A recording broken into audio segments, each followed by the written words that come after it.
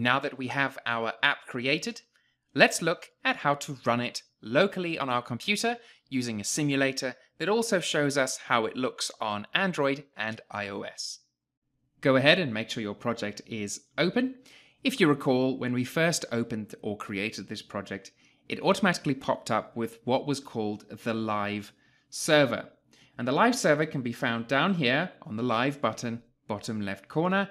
If you go ahead and click that, it'll load up the live server and it will tell you that it's loading up the simulator.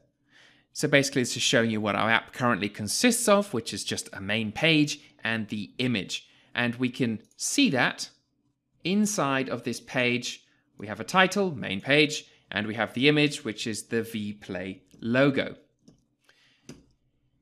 And all the live server is doing is showing that to us. Now in the live server, you can change resolution and the resolution allows you to choose between iPhone 4, older devices obviously, 6s, Xs, etc.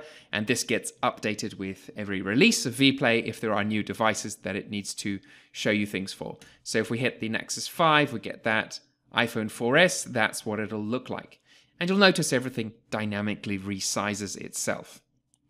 Then if you hit the theme tab, it'll show you what it looks like on iOS. So if I click iOS, this is what the default would look like and Android would look like that. And these things should look pretty familiar with you because what V-Play is doing is it's using the default platform look for each thing. So it's taking your code base, it's saying, hey, you want a navigation stack, you want a page, and you want a title on that page. And then what it does is it says, well, the title on an Android page goes in the nav bar along the top. The title on the iOS is the same, except it's centered in iOS. And these are all things you can change. This is just showing you the default behavior for all of it. And of course, the desktop client shows its own thing and what this would look like on your Windows desktop. It may look slightly different on Linux or Mac because it may pull down your different system fonts, etc., etc. Okay, so that is basically how you run things on the V-Play Live server locally in the little, we could call it an emulator. Now, the beauty of this is because it's a live server, if we change something, let's say we change this to main page 2, and then we go ahead and hit Control S, the live server will restart and, and show us what that looks like in the live client.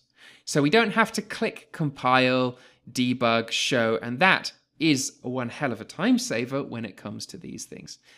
So that's the V-Play Live client. Now in the next section, I'm going to show you how to run this code using the special V-Play Live apps on your iPhone, your Android device, on as many devices as you like simultaneously. It will push these code changes and you'll see that happen in real time.